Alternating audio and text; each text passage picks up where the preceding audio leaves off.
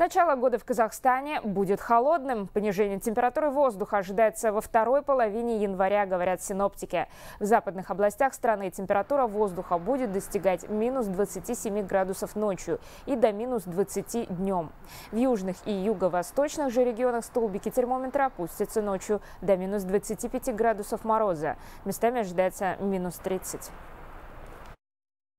В январе также ожидается у нас несколько волн холода в первой и в третьей декаде. А, количество осадков будет около нормы. Также понижение температуры ожидается в северных, центральных и восточных регионах Казахстана. Ожидается понижение температуры воздуха до 25-30 градусов, местами 39-43 градуса мороза. И днем ожидается 15-20 градусов мороза.